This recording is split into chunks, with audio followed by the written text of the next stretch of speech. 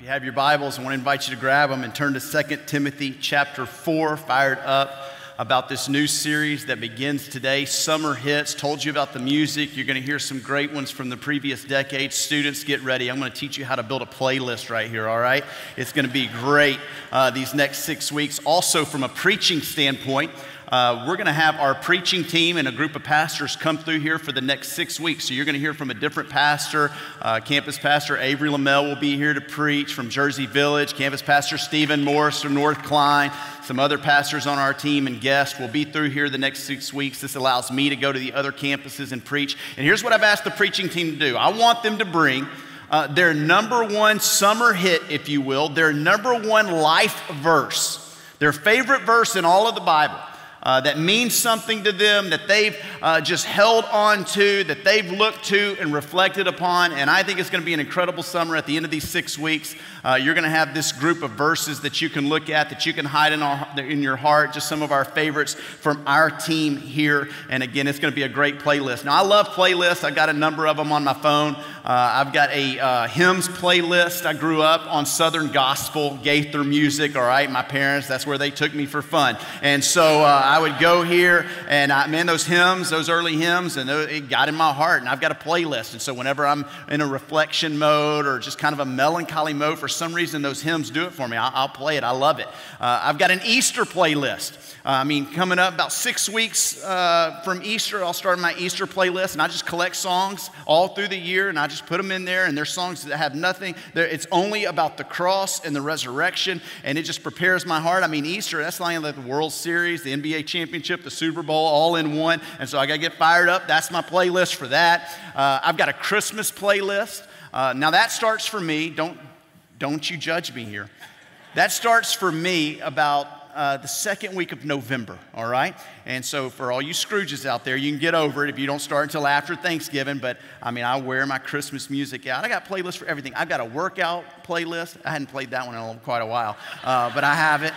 Uh, I've got an Israel playlist when we get ready to go to the Holy Land, which, by the way, uh, we are almost at capacity. We're taking nearly 200 the day after uh, Christmas this year. And so, if you were thinking about going on, you need to call this week because signups are almost over. Uh, playlist for everything. Got a George Strait playlist because you can't have enough too much King of Country. And uh, I mean, I, I, got playlists for everything. And, and what I want to do this uh, summer is, you know, playlists, they're usually a collection of your number ones and uh, they have staying power, if you will.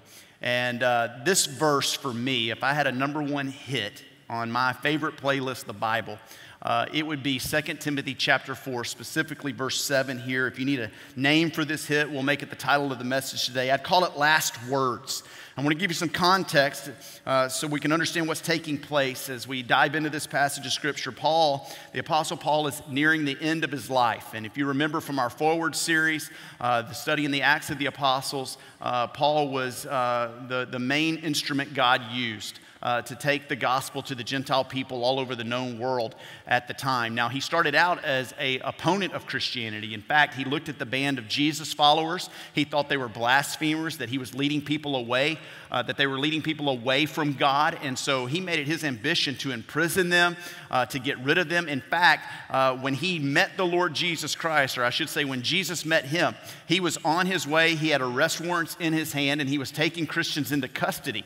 And Jesus meets him on the Damascus Road, reveals himself as Lord to Paul, and it changed the entire trajectory of his life. From that point on, he worked tirelessly uh, for the advance of the church, for the advance of the gospel. And uh, what we see is him discipling people, making converts, he's building churches, he's raising funds so that these churches can meet needs in their faith community and beyond. And uh, there was no one like Paul uh, in that time, no one like Paul ever since. He gave the Lord everything, and he suffered greatly because of it. In fact, uh, this is the context of 2 Timothy. It's a prison. Uh, Paul is writing uh, from prison, and it's very unlike his first imprisonment. He, his first imprisonment, he was living in kind of rented quarters, and he could have guests come and go. This is not like that at all. This is a real prison, all right? I'm talking dark, damp, isolated. You ever seen the show Locked Up Abroad? All right, think Locked Up Abroad. By the way, that's my nightmare is to get locked up abroad. I'm not very tough mentally. I wouldn't make it very long. I watched that show. And usually have to take a walk after, all right? That's the kind of prison uh, that Paul's in. It's dark, it's damp, it's isolated, he's alone, and he's awaiting what's about to happen to him, and he knows, he knows it's not good. Now, I want you to keep in mind, he's been following Jesus for 30 years, and he's got nothing but time to reflect upon his life, to reflect upon his ministry, and so he gets his pen and he gets his paper and he begins to write to Timothy, who he refers to as his son in the faith. This is a young man that he led to Christ, young man that he discipled, that he gave leadership to. These are two that traveled together, worked together, partnered together. You better believe when Timothy got this letter, he leaned in because he knew this is the last time he's ever going to hear from his brother in the faith, his mentor. And so I want us to lean into these last words from the apostle Paul. 2 Timothy chapter 4 starting in verse 6, the Bible says this, "For I am already being poured out as a drink offering and the time of my departure has come.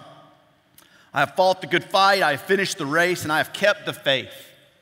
Henceforth there is laid up for me the crown of righteousness which the Lord the righteous judge will award to me on that day, and not only to me but also to all who have loved his appearing." If you've ever been around anyone uh, who is near death and they're speaking their last words, there's a weight that comes along with last words. You don't forget last words, you hold on to last words. Tomorrow, of course, is the 4th of July. And I'm so grateful uh, for our country and to be a citizen of this country. I'm unapologetically uh, patriotic. Uh, both my granddads fought in World War II. My dad uh, fought in Vietnam. Uh, in 2016, he and I took a father son trip back to Thailand to the base that he was stationed at during Vietnam. It's an incredible uh, memory. I love our country. My biggest regret in life is not serving in our armed forces. My dad used to tell me, "Boy, you need basic training," because uh, I, you know, took long showers, and he's like, "You need basic training. Uh, learn to shine your shoes." And so I, I regret uh, not being in the armed forces. I love our nation, concerned about its direction at times. Uh, but nonetheless, still believe it's the greatest country on the planet. And as American citizens, we ought to be biased toward our country. That's a good thing. You know, we're, we're kingdoms of a larger, uh, we're citizens of a larger kingdom. We understand that. We're citizens of the kingdom of God. That's who our ultimate allegiance is to. Uh, but as citizens of this country, we do pledge allegiance to this country that we love. I've had, I love other countries. I've been there numerous times on mission trips and vacations. But let me tell you, there's nothing like being away for an extended period of time, landing in the United States of America and hearing that customs agent say, Welcome home. Ain't nothing like it. And there's a reason for that. It's not just because this is our home, but it's special to us because of the blood that's been spilled to secure it, because of the uniqueness of how it was founded, what it was founded upon. And tomorrow we celebrate 240 years of independence. But speaking of, you can celebrate that. Speaking of last words and celebrating our independence, did you know that our second and third presidents, John Adams and Thomas Jefferson, um, members of the Revolution, of course, they were friends early on in life. Uh, both signed the Declaration of Independence. Jefferson was charged to write it, but uh, Jefferson was Adams' vice president. And as they grew up in life and in politics, their politics began to separate them. They had differing views on which way the government should run. Uh, they had differing views on policies that needed to be implemented. And it caused so much strife that eventually it separated them. They, their friendship was no more. It's amazing how politics can separate the best of friends. Sad, shouldn't be. Tragic, really. Another sermon for another time. But uh, Adams and Jefferson, later on in life, eventually uh, did renew their friendship.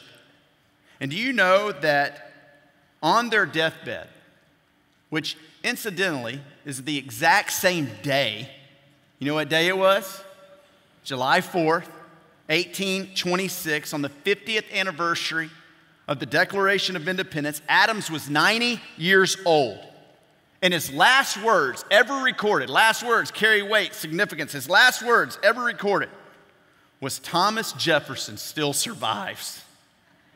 He couldn't believe that it, his old rival had outlasted him. Little did he know, though, that five hours earlier, Thomas Jefferson had actually breathed his last and he had died. And some of his last words before refusing any more medicine, saying, No more, no doctor, no more, he raised his weakened body off the bed and simply asked, Is it the fourth? He was waiting to die on the 50th anniversary of the Declaration of Independence. Last words. They have meaning.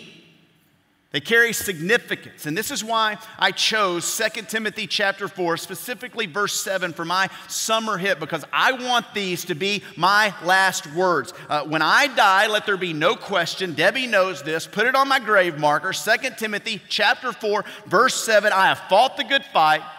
I have finished the race and I have kept the faith. Now, I mentioned this in a sermon a few uh, weeks ago. Uh, I first uh, came aware of this verse as a second grader. In my house where I lived, we had these uh, pictures up that my aunt had made. She had cross stitched a life verse and put our picture here. And here's me as a second grader. Such a leader, even then. But I would, wa- I, would, I would look at this. I had an older brother, so his was on top. Uh, I had a, a, younger sister. I was the middle child. We'll, support, we'll, we'll, start a support group here for all you middle children.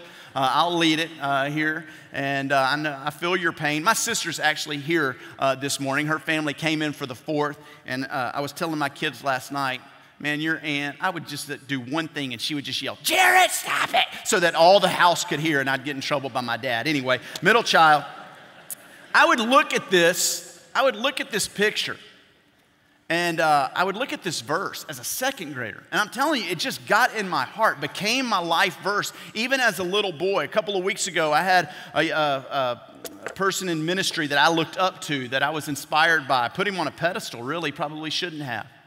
And it became known of a sin that surfaced in his life that he had dis- not disclosed, and it, it became made aware of, and it broke my heart. Couldn't believe it. Uh, just a moral failure. He's lost everything. And uh, the first thing I thought of uh, when I heard that news is it's not how you finish or start that matters, it's how you finish.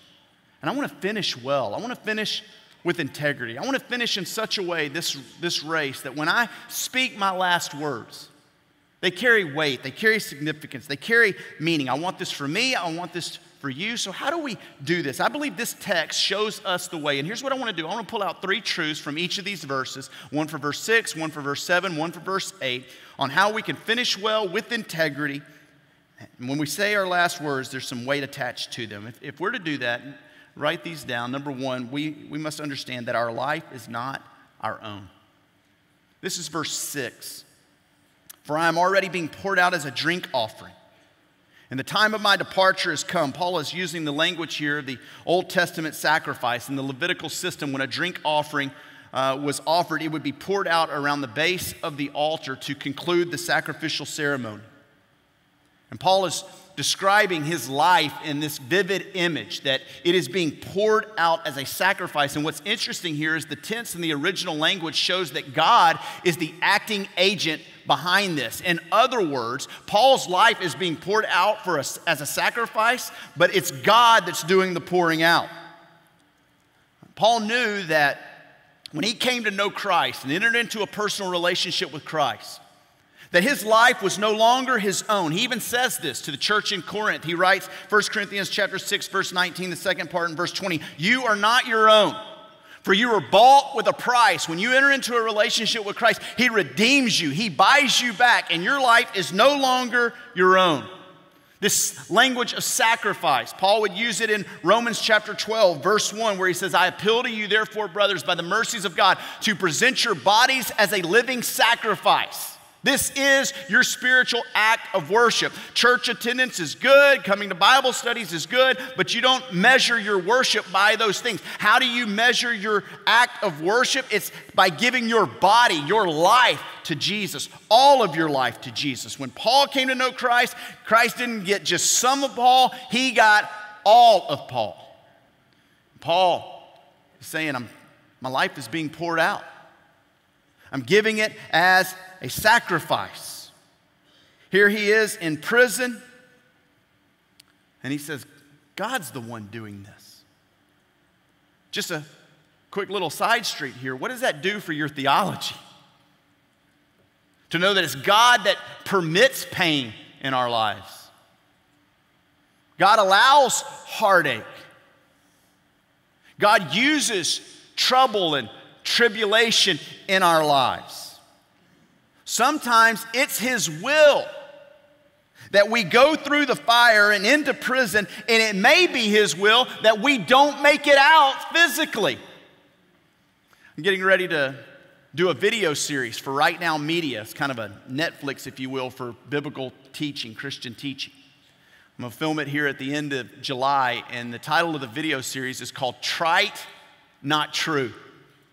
What I'm doing is taking apart Christian sayings that we say all the time, just kind of off cuff. We don't really think about what they mean, and they sound good, but they're not true. I'm going to take this one that it's never more safe than when you're in the will of God. Not true. It might be a very dangerous thing when you're in the will of God.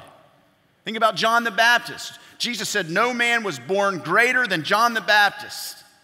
He's in prison and beheaded. Um, you think about these things. It's a nod to the sovereignty of God here. If you were to read the small print, it's this command that we trust in the Lord. I so wish we could have heard Paul's tone when he was writing this letter. I don't think it was defeat. I don't think he was looking at his circumstances and broken by his circumstances. I don't think he was feeling sorry for himself. This isn't Paul at all. In fact, Paul was more than ready and more than willing to give his life for Christ. In Philippians chapter 1, he tells the Philippian church that to live is Christ, but to die is gain. He said, I'd rather die and depart and be with Christ. That is far better. But if I need to remain here because of fruitful labor for you, that's what I'll do. If you remember in our Acts study, he's getting ready to go to Jerusalem, and the leaders in the Jerusalem uh, church say, Don't go, don't go. And Paul says in Acts 21 13, What are you doing? You're weeping and breaking my heart, for I am ready not only to be in prison, but even to die in Jerusalem for the name of the Lord Jesus. He viewed his life as a sacrifice to God, it was no longer his. And this mindset and this perspective was God, my life's not my own. And if it's prison, so be it. And if it's suffering, I trust you. It's amazing. You don't hear any grumbling from Paul when you read this letter, you don't hear any complaining. You read 2 Timothy 4, you don't even see Paul hinting uh, to, to get out of prison. Like that would have been the first thing that I would have said. Like if I would have started 2 Timothy chapter 4, here's how I would have started it 2 Timothy chapter 1. I would have said, Jarrett, an apostle of Christ Jesus by the will of God, according to the promise of life that is in Christ Jesus, to Timothy, my beloved child. Please get me out of this prison do whatever it takes. That's how I would have started the letter. Paul didn't do that. He, he does, he's not even thinking of himself. He's thinking about Timothy, challenging him, encouraging him to finish strong, to finish faithful. He understood. And when he followed Christ, he gave up the rights to his life. His life was not his own. Secondly, he understood this truth that our life is full of ups and downs. This past week, we had our opening orientation for our residents here at Champion Forest. And again, another reason uh, that you should give and get in the game on giving is we set up this residency program in the name of Damon Shook, our pastor that was here for 28 years. And the goal was with our multi site strategy and planting churches all over North America, we needed a minor league system, if you will, a feeder system where we could raise young pastors up to put them on our staff or to send them out to great gospel centered churches all over the world. And you bless that vision and you can give to that uh, vision through the residency program. But we have 20 residents on our staff. We'll have 20 residents by August. And we had them in opening orientation. And I was talking to them and I was level setting them about what uh, their residency is going to be like. And these are students that are in seminary, getting their theological education. They're in a great church, learning how to work in the local church. They all report to a supervising minister on staff wherever their passion area is. It could be children's ministry, student ministry. Two of our, uh, one of our residents, one of our summer interns led us in worship this morning. They're all over our church. It's awesome. But what I told them was, I need to level set you on what to expect out of this residency program. Because if I don't, expectations could be up here and reality could be down here. And that gap in the middle is what I call the frustration gap. It's true in life and work, it's true in marriage. Can I get a witness? Expectations up here, reality down here, frustration. And so the only way I know to remove that frustration is to make sure that you communicate what your expectations are. That way you can hold accountable to the reality. Well, Paul, he, his expectations uh, were right where they needed to be. So when bad times came, he didn't get frustrated, he didn't get disillusioned. Why? Because he expected hardship. I don't know where this teaching comes from that when you come to Christ, all of your heartaches, all of your pains, all your troubles will just go away. That's, that's foreign to Scripture. Or at least at a minimum, some of us think that we come to Jesus, we may have problems, we may have difficulties, but at least we're going to be delivered from them or through them. Uh, and, and we will be delivered through them eventually, but you may not be delivered from them. Paul chooses his words accurately. He calls life a fight, calls it a, a race describes it as one of war, of competition. Again, he's been following Jesus for 30 years. And listen, there's been some incredible things happen. He's made hundreds of converts, he's planted a lot of churches. But when you talk about the ups and downs of life, you look at Paul's life post following Jesus, and there were a lot more downs than there were ups. In fact, just listen to his testimony, 2 Corinthians chapter 11, verse 25. Three times I was beaten with rods, once I was stoned. Three times I was shipwrecked. A night and a day I was adrift at sea on frequent journeys, in danger from rivers, danger from robbers, dangers from my own people, danger from Gentiles, dangers in the city, dangers in the wilderness, danger at sea, danger from false brothers, in toil and hardship, through many a sleepless night, in hunger and thirst, often without food and cold and exposure. And apart from other things, there is this daily pressure on me for my anxiety for all of the churches. Sign me up. I mean, listen to this.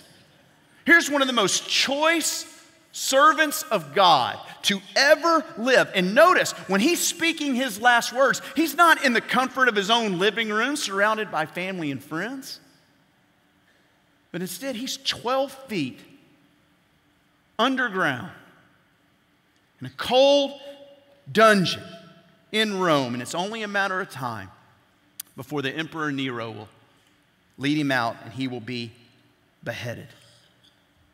I didn't think bad things were supposed to happen to good people. Certainly not supposed to happen to godly people. But Paul, he destroys this line of thought. He says the Christian life is a fight. That word fight, it means a contest, a struggle. Notice he says, I fought the fight. We get our English word agonize from this word fought right here. Life is a war, it's a race to be won. And when we see life this way, when the down times come, we won't get discouraged and disillusioned and throw our hands up in despair and say, What is happening to me? No, our expectations and reality will line up. Listen, the scripture never describes life as being easy. In fact, the psalmist says, Psalm chapter 90, verse 10, the years of our life are 70 or by reason of strength 80, and yet their span is but toil and trouble. They're soon gone, and we fly away. Easy Christianity is cultural Christianity. Biblical Christianity is hard. We've got an enemy to fight, an adversary that wants to steal, kill, and destroy. We have this sin nature, this flesh that is constantly waging war against our soul. We have this world, this outside world and its system who is, who is always luring us away from God and His calling on our life. It is hard to follow Jesus. But, but notice the words of Paul. He says, I fought, notice what he says, it's a good fight. It's a worthy fight. Dad, the fight for your fidelity, for your integrity, for your family, that fight's worth it. Teenager, your, your fight for your purity, to hold on for your purity in the midst of a world that doesn't honor purity at all, to not sacrifice your future on the altar of the uh, immediate, that's a, that's a worthy fight. That's a good fight. Moms, it's a good fight for you to look after your children and look after your home and care for your home and pray God's blessing over your home. That's a worthy fight as a church to stand for unity, to cling to doctrinal purity. That's a worthy fight as a country to stand for righteousness and truth. That's a worthy fight. Now, we do it in a way that's honorable and loving, understanding that our, our, our fight is not against other people. It's against the principalities of this present darkness. It's against the enemy. It's a worthy fight. I keep this quote on my desk at home. I read it often to remind me every day I'm at war, I'm in a battle. It's by biblical counselor Ed Welch. Listen to what he says. How long do we fight? Let's be honest, it gets, it gets, it gets wearisome, it gets tiring. The constant temptation. The enemy constantly trying to trip us up. How long are we supposed to do this? Ed Welch says, How long do we fight? We fight against the desires that wage war in our soul throughout our entire lives. This is the normal Christian life. It ends when we have been fully made perfect, either through death or Jesus' return. See, the hardships of today is to prepare us and supposed to make us long for another day, a greater day, a day that's coming. And this is what Paul mentions in this final verse, at least this final point, if we're to finish with integrity. We need to understand and realize our life is not our own. Our life is full of ups and downs. It's a war, it's a race. But third and finally, our life is rewarded in eternity. Look at verse 8. Henceforth, there is laid up for me the crown of righteousness, which the Lord, the righteous judge, will award to me on that day. And not only to me, but also to all who have loved his appearing. You want to stay motivated in the fight? You want to stay in the race even when you're winded and want to give up? Here's the motivation. The Bible says you will receive a crown of life. I wish I had time to go into this. Maybe it would be a sermon series in the future. There's five heavenly crowns that believers are promised in the scripture. But you only get it if you're in the race. A few months ago, my family and I, we, we went to Disney on a Disney cruise. And uh, I love Disney cruises because I just camp out at that buffet. That's all I do. And uh, I eat. And uh, we were on the Disney cruise, and truly, that's about the only exercise I got is going from my room to the buffet. And uh, about day three, we were, we were scheduled to land on Castaway Cay, which is Disney's island right there in the Caribbean. And they, were, uh, they have a 5K on the island, and you can run, you know. And so I, I talked to, to, my girls, and I was like, why don't, we, why don't we run it? We haven't done anything except eat. And so let's, let's get some exercise. And so uh, one of them agreed to run it with me. And so we got to the island, and uh, we, we ran it. And eventually we finished. And um, when we finished, uh, they gave us uh, this right here for finishing. Huh? And so, I mean, I'm proud of it. Uh, I keep it in my closet as a constant reminder that I, I, ran the race and finished it. And so when I got done with the race, uh, I was tired. I went to, you know, I went to our little place where we were hanging out as a family because I just wanted to lay down and, and do nothing at that point. And I mean, I was all proud of myself. I had this with me, and I'm thinking, look at what I got for running this race. And then all of a sudden, uh, Debbie came over. And she said, Hey, look at what I've got. And she had one of these, and she didn't run the race. and I was so frustrated. Like, you take that back right now. There, there, no way. I worked hard for this. I earned this. She's got one hanging in the closet as well. Now, look, I, I don't fully understand what the crown of life is going to be like. But it's clear, you only get it if you're in the race. Paul, he said in Philippians 3, I don't consider myself, verse 13 and 14, having made it my own, but one thing I do, I forget what lies behind. And I strain toward what lies ahead. I press on toward the goal of the upward call of God in Christ Jesus. 1 Corinthians chapter 9, verse 24 and 25, he says, Do you not know that in a race all runners run, but only one receives the prize? So run that you may obtain it. Every athlete exercises self control in all things. They do it to receive a perishable wreath, but we an imperishable. Paul kept his eyes on the eternal reward. And so he wasn't looking at his circumstances. He wasn't focused on what was going on around him, what was happening to him. And I believe this is what enabled him to finish strong and finish faithful. He wasn't living for rewards on this earth, but instead he was living for the reward that he would receive in eternity. In fact, he says, I'm waiting for the righteous judge. He knew the earthly judge was about to sentence him to be beheaded. And he said, I'm waiting on the righteous judge. God, that's who I'm standing before. Reformer Martin Luther said, There's two days on my calendar. I have two days on my calendar. This day, this is the day the Lord has made. Let us rejoice and be glad in it. Let's live for Christ today and that day. That day we stand before the Lord. This is the motivation we need to finish strong and finish faithful. We keep our eyes on the eternal prize, not on what's happening in the here and the now, but the day that we see Jesus face to face. This are the, these are the last words of Paul. This is, this is my summer hit. And I hope you'll take it and put it on repeat over and over and over until you make it your own. Amen. Thank you for joining us online. We hope today's experience encouraged and challenged you.